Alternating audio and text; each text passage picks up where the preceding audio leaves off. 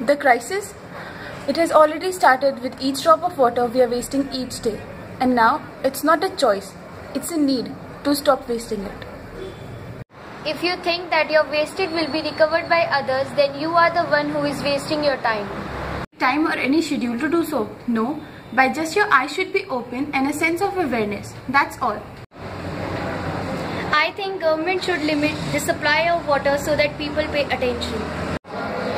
But I think people should help themselves sometimes instead of involving to government actions all the time because our unity will prove that we are all together as a citizen can develop and save our nation.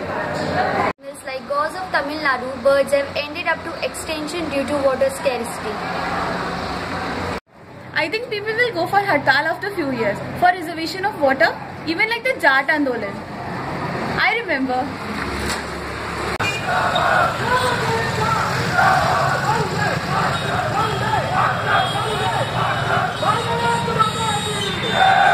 So take an initiative now to prevent future.